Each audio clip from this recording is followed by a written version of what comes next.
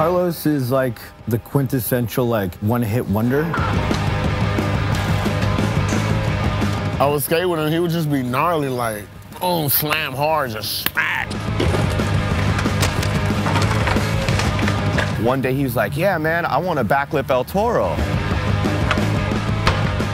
That's the first trick he ever did that was actually filmed by somebody that's professional. He really liked to tackle crazy shit. That was a thing to him. I feel like if you're getting hate and shit talk on the internet, you're doing something right.